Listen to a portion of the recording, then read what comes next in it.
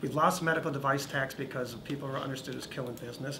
We, we pulled back other taxes with respect to Obamacare in a bipartisan manner because we realized they were bad. And the millions of people that were supposed to come onto the exchanges, young kids, healthy kids, um, that are supposed to take care of the old farts like me with bad hockey injuries and sports injuries that have higher costs, well, they're not coming on. They're just paying the taxes, and, and they're, they're paying the penalty. So the fundamental underpinning is really hurting. So the concept of keeping insurance, great idea. Concept of making sure everyone has access to insurance, great. Portability of premiums uh, for pre-existing conditions, absolutely. Portability of, uh, I mean, having a up to a 26-year-old, great. So There's a lot of good things about How do you pay for Obamacare.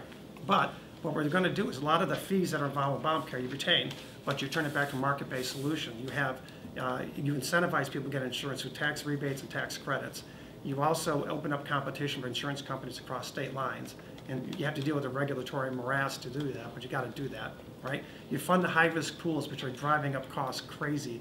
Like you have one person may have an exponentially high amount of healthcare coverage. It's killing the coverage for a lot of other people. So you fund high-risk pools as well. So there's some of the things we're talking about. I know what it's like for so many people uh, who are struggling, who didn't have health insurance. Now we have 20 million more Americans who have health insurance, who get, who are gonna, who are getting, excuse me, the care that they deserve.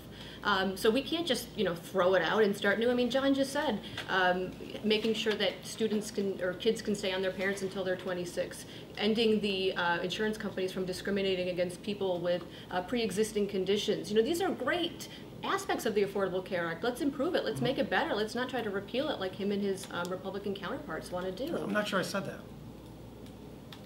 Um, Ms.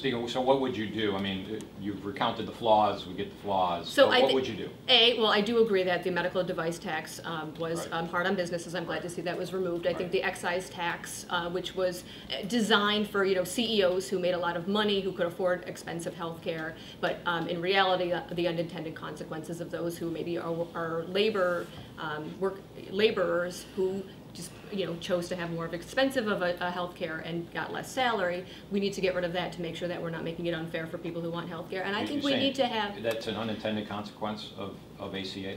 I, I think that, yeah, I think that the excise tax was a mistake. I think it was intended for people who, you know, could afford high insurance, but it was not, um, it was not thought through that, you know, people who get paid less salaries would have high-quality health insurance and pay a lot for it.